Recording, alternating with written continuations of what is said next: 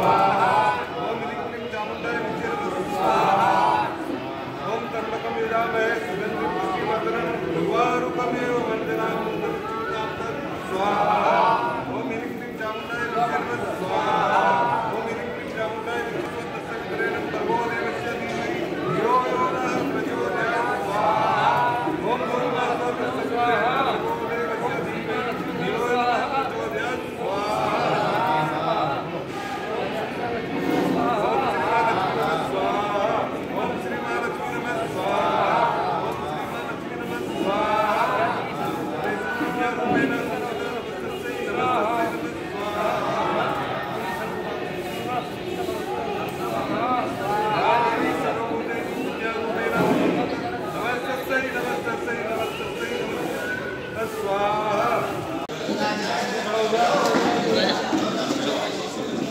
पूरे प्रदेश में आज एक हवन का प्रोग्राम रखा गया है, जिसमें सरकार को बुद्धि सुबुद्धि के लिए हमने ये यहाँ पे सब हवन किया है, जिसमें सरकार ने हमें सौ लोगों की परमिशन दी है।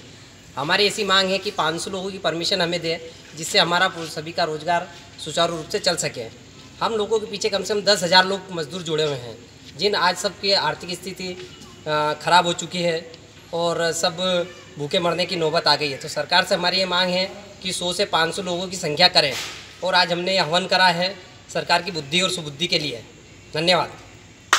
मध्य प्रदेश एसोसिएशन के द्वारा नागदा समन्वय समिति, टेंट एवं हलवाई संघ, लाइट डेकोरेशन, साउंड संघ, सभी ने आज एक सद्बुद्धि यज्ञ किया है, जिसमें कि यह आह्वान किया गया है कि सरकार को 100 आदमी से 500 आदमी की परमिशन देने की अनुमति प्रदान करे, जिससे हमसे जुड़े सभी लोग का व्यवसाय सुचारू रूप से चल सके। और भविष्य में जो आर्थिक स्थिति खराब हुई है, उसके लिए सरकार से निवेदन है कि वो हम सभी लोगों को ऋण प्रदान करे, जिससे कि हमें, हम लोगों की जो गति रुकी हुई है, उस गति को निरंतर, निरंतरता प्रदा- प्रदान हो। धन्यवाद। आज यह आयोजन कराया गया। सम्माननीय मुख्यमंत्री, प्रधानमंत्री से निवेदन करते हैं कि ये पूरे हिंदुस्तान में आज साउंड वाले पंद्रह करोड़ लोग हैं। इन पंद्रह करोड़ को लोगों को रोज़गार से वंचित करा गया और सभी लोगों का रोज़गार चल रहा है। सिर्फ़ साउंड, टेंट, लाइट, कैटरिंग, हलवाई, सभी लोगों का आज रोज़गार नहीं मिल रहा है। अगर किसी तरह को अगर व्यवस्था अगर वो देते हैं गाइडलाइन जारी करते हैं तो हम उसको बराबर देखते हुए हम उनके नियम पे चलेंगे। अगर जो ये हमारे को सौ लोगों को दिया गया, उसको पाँच सौ करा जाए और बिल्कुल हम उनके नियम का पालन करेंगे और हमारे साउंड, टेंट, लाइट, जो भी लोग हैं, सब नियम का पालन करेंगे। धन्यवाद।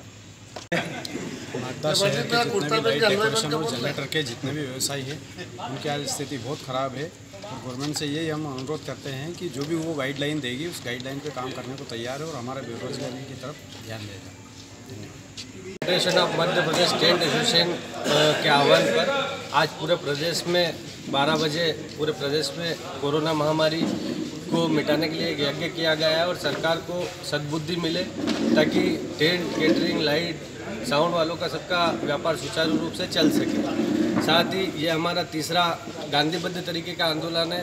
प्रथम में हमने ज्ञापन के माध्यम से दिया, दूसरा हमने दुकानों पे बंद का बैनर लगा के दिया और तीसरा हवन करके दिया। तो ये आंदोलन, यदि सरकार हमारी बात नहीं सुनती, बात नहीं मानती तो ये आंदोलन आगे भी इसी तरह जारी रहेगा और आगे ये आक्रामक रूप में जारी रहेगा। तो सरकार से निवेदन है कि जो अभी 100 लोगों की संख्या निर्धारित कर रखी किसी भी आयोजन के लिए शादी ब्याह के उसको कम से कम 500 करें हम सरकार की सारी गाइडलाइनों का अनुपालन करेंगे मास्क सैनिटाइजर वगैरह सब चीज़ों को ध्यान में रखते हुए उस कार्य को करेंगे। तो आज सभी की सरकार से यही मांग है कि इन सौ की संख्या को 500 की संख्या करें, ताकि सबका व्यापार फिर से सुचारू रूप से लागू हो सके। अन्यथा ये आंदोलन आगे चल के और उग्र रूप लेगा। अभी तो हम गांधीवादी तरीके से आंदोलन कर रहे हैं। आगे यदि हमें सड़कों पे भी उतरना पड़ा तो हम सब टेंट वाले, लाइट वाले, साउंड वाले, हलवाई केटर सब एकजुट होकर और ये हम सबका एक महासंग्राम बना हुआ है और हम सब इसके लिए तैयार हैं। अभी तक हमारा आंदोलन पूरा गांधीवादी तरीके से चल रहा है, जिससे सरकार को भी कोई परेशानी नहीं है।